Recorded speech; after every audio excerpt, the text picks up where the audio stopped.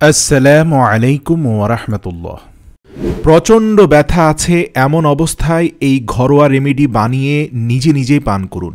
মাত্র দশ মিনিটের মধ্যে আপনি এর কার্যকারিতা বুঝতে পারবেন। এটি আপনাকে টানা তিন দিন পান করতে হবে। এটি পান করলে হাঁটুর ব্যথা, কোমর ব্যথা, গোড়ালির ব্যথা, পিঠ, এমনকি শরীরের যে কোনো হাড়, জয়েন্টের বা পেশির ব্যথা একদম দূর হয়ে যাবে। তিন দিনের মধ্যে আপনি সম্পূর্ণ সুস্থ হয়ে যাবেন ইনশাআল্লাহ। কিন্তু প্রথম দিন সেবন করার পরে এর উপকারিতা আপনি বুঝতে পারবেন। এটি যে শুধুমাত্র হাড় জয়েন্টের পেশির ব্যথা দূর করছে তা কিন্তু নয়, সেই সঙ্গে এটি বন্ধ শিরাগুলোকে খুলে দিচ্ছে।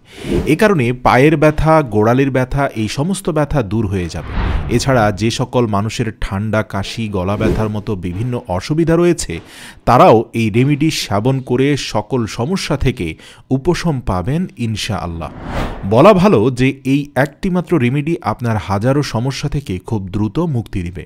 যারা এ ধরনের বিভিন্ন রোগে ভুগছেন, তারা অবশ্যই আজকের এই ভিডিওটি একদম শেষ পর্যন্ত দেখুন। প্রথম যে উপাদানটি আমরা ব্যবহার করব, সেটি হচ্ছে কালো গোলমরিচ। এটি কম বেশি সবার রান্নাঘরেই থাকে। এই কালো গোলমরিচ কিন্তু শরীরের সব ধরনের ব্যথা, যেমন পেশির ব্যথা হার্ট জয়েন্টের ব্যথা, এমনকি বাতের ব্যথা সারাতে খুব ভালো কাজ করে। শুধু তাই নয়, যদি ঠান্ডা, সর্দি, কফ, কাশি বা দীর্ঘদিনের বুকে জমাট বাঁধা কফ ও কাশি থাকে সেই ক্ষেত্রেও এটি খুব ভালো কাজ করে। এছাড়াও মাথা ব্যথা সাইনোসাইটিসের ব্যথা এই সকল ধরনের ব্যথা থেকে মুক্তি দেবে এই কালো মরিচ।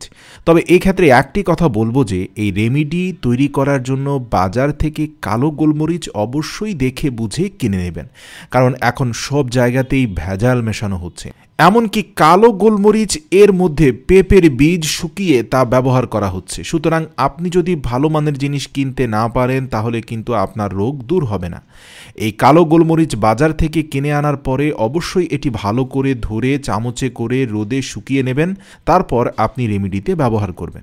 দ্বিতীয় যে উপাদানটি নেব তা হচ্ছে আদা। প্রিয়দর্শক হাড়, জয়েন্ট, পেশি, হাঁটু, কনুই, ঘাড়, পিঠ, এই সমস্ত ব্যথা থেকে একদম নিরাময় দান করতে সক্ষম আদা। এটি এমনভাবে এই ব্যথাকে দূর করবে, আপনার মনে হবে যে কখনো আপনার এই সকল স্থানে ব্যথা ছিলই না।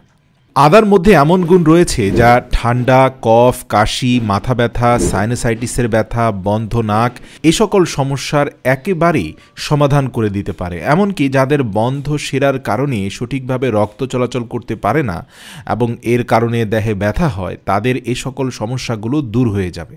যদি কাঁচা আদা ব্যবহার করতে চান, তাহলে এক ইঞ্চি পরিমাণ কাঁচা আদা লাগবে। আর যদি আদার গুঁড়ো আমরা ব্যবহার করি, তাহলে সেক্ষেত্রে হাফ চা চামচ পরিমাণ আদার পাউডার ব্যবহার করতে হবে। তৃতীয় উপাদানটি হচ্ছে দুধ। বন্ধুরা, আপনারা জানেন যে দুধের মধ্যে রয়েছে ভরপুর ক্যালসিয়াম। এই ক্যালসিয়ামের কারণে আপনার দেহে যে ক্যালসিয়ামের অভাব রয়েছে, তা দূর হয়ে যাবে। অনেক মানুষ ক্যালসিয়ামের অভাবজনিত কারণে ব্যথায় আক্রান্ত হয়েছেন। ক্যালসিয়ামের অভাবে যে ব্যথা তৈরি হয়, সেই ব্যথা দূর করতে দুধ এবং তার সঙ্গে আদা এবং গোলমরিচ এই দুটি উপাদান একসঙ্গে মিলে আপনার দেহের ব্যথা একদম দূর করে দেবে। সেক্ষেত্রে এক গ্লাস পরিমাণ খাঁটি গরুর দুধ প্রয়োজন। আর যাদের খাঁটি গরুর দুধ সংগ্রহ করা সম্ভব নয়, তারা চাইলে ভালো মানের গুঁড়ো দুধ ব্যবহার করতে পারেন। তো যাই হোক, এক্ষেত্রে আমাদের দশ থেকে বারোটি গোলমরিচ পাউডার করে নিতে হবে। তারপর সেই গোলমরিচের গুঁড়ো দুধের সঙ্গে মিশিয়ে দিন। তারপর তার সঙ্গে আদার পাউডার যুক্ত করবেন। আর যারা কাঁচা আদা ব্যবহার করতে চান, তারা এক ইঞ্চি পরিমাণ কাঁচা আদা ভালো করে গ্রেট করে নিন বা ছোট ছোট করে টুকরো করে নিন। তারপর দুধের সঙ্গে মিশিয়ে নিতে হবে। তাছাড়া আপনি চাইলে আদা একদম বেটেও ব্যবহার করতে পারেন। এর ফলে আদার সমস্ত গুণাগুণ বজায় থাকবে এবং দুধের সঙ্গে মিশে যাবে।